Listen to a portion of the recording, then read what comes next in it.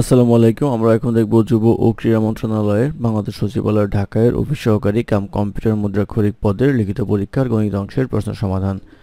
আমাদের চ্যানেলের সাথেই থাকুন। আমরা প্রতি পরীক্ষার পর চেষ্টা করি সেই পরীক্ষার প্রশ্নের গণিত অংশের সমাধান ভিডিও আকারে আপলোড করার জন্য। অঙ্ক শুরু হবে এগারোর ক নাম্বার অঙ্ক দিয়ে। এগারোর ক নাম্বার অঙ্কে বলা ছিল উৎপাদকে বিশ্লেষণ করুন। অঙ্কটা ছিল হচ্ছে x cube minus x minus six তো এটা ফাংশনের মাধ্যমে করতে হবে। ফাংশন মানে হচ্ছে এক্সের মান কত বসালে এটার মান জিরো হয়ে যায়।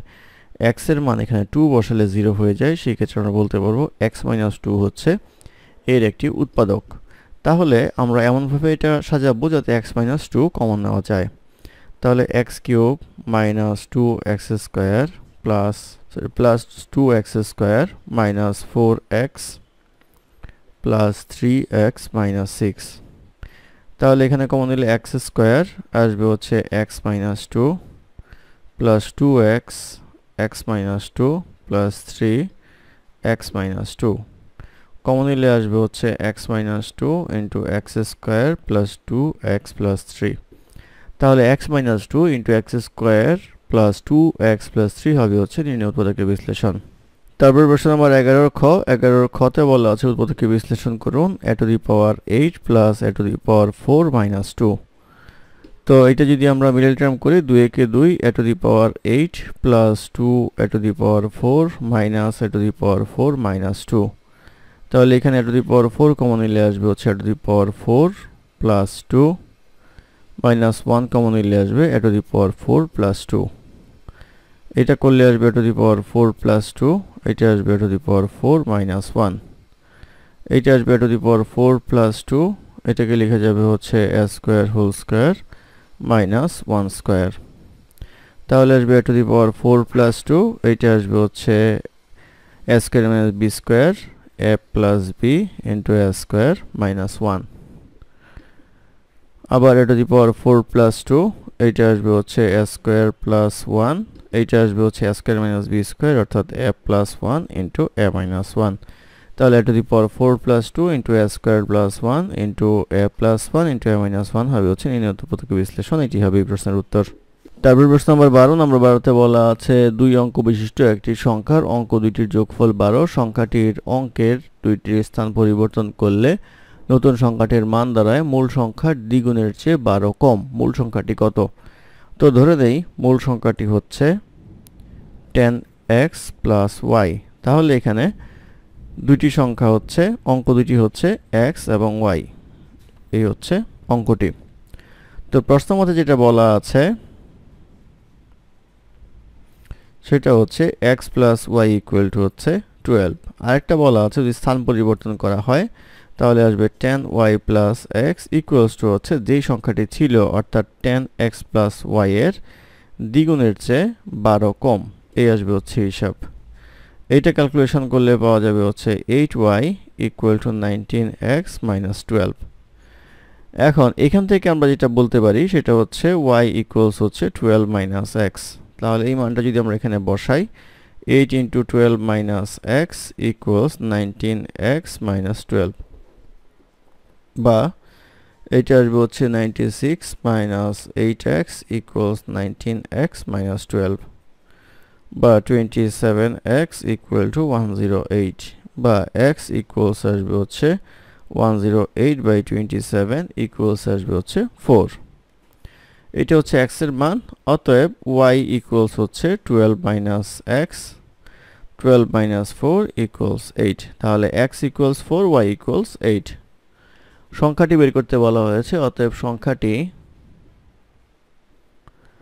equals 10x plus y equals 10 into 4 plus 8 40 plus 8 equals আসবে হচ্ছে 48 এই 48 হবে হচ্ছে সংখ্যাটি এটি প্রশ্নের উত্তর।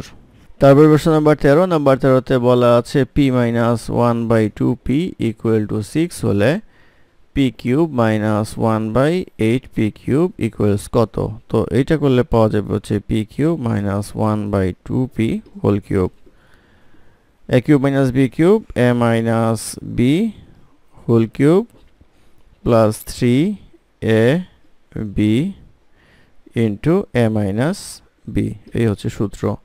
এখন আমরা মান বসাবো। মান বসালে আসবে হচ্ছে সিক্স কিউ প্লাস পিপি কাটা থ্রি বাই টু ইন্টু এটার মান হচ্ছে সিক্স এটা এটা কাটলে আসে হচ্ছে টু থ্রি তিন তিরিকা নয়। এটা করলে আসবে হচ্ছে two one six plus nine equals আসবে হচ্ছে টু টু ফাইভ অর্থাৎ টু টু ফাইভ হচ্ছে নির্ণয় মান। এটি হবে এই প্রশ্নের উত্তর।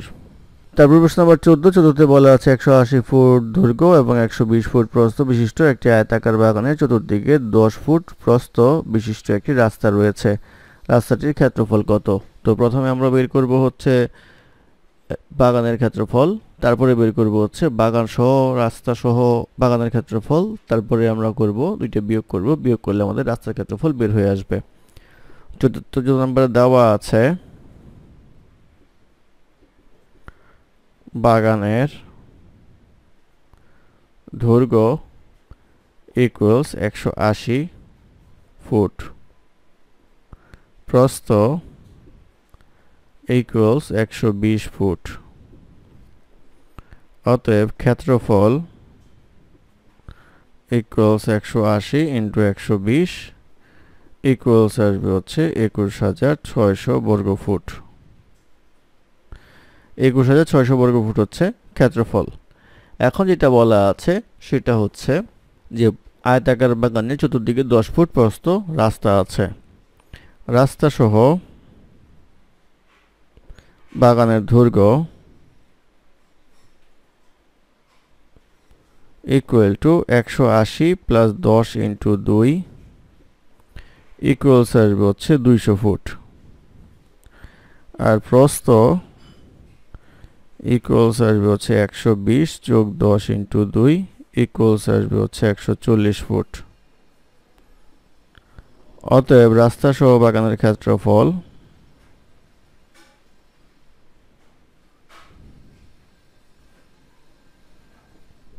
ইকুয়ালস আসবে দুইশো ইন্টু একশো চল্লিশ ইকুয়ালস আসবে হচ্ছে আঠাইশ হাজার বর্গ ফুট।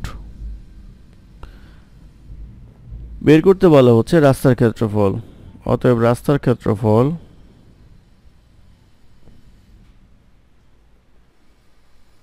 ইকুয়াল আসবে হচ্ছে আঠাইশ হাজার বিয়োগ একুশ হাজার ছয়শো। এটা করলে পাওয়া যাবে হচ্ছে ছয় হাজার চারশো বর্গ ফুট এই ছয় হাজার চারশো বর্গ ফুট হবে হচ্ছে এই প্রশ্নের উত্তর। ধন্যবাদ আমাদের সাথে থাকার জন্য। আমাদের চ্যানেলটি ভালো লাগলে অবশ্যই সাবস্ক্রাইব করবেন, লাইক, কমেন্ট এবং শেয়ার করবেন। আমাকে কোনো সমস্যা থাকলে আমাদের কমেন্টে জানাবেন। আমরা চেষ্টা করব কমেন্টের রিপ্লাই দেওয়ার জন্য। ধন্যবাদ।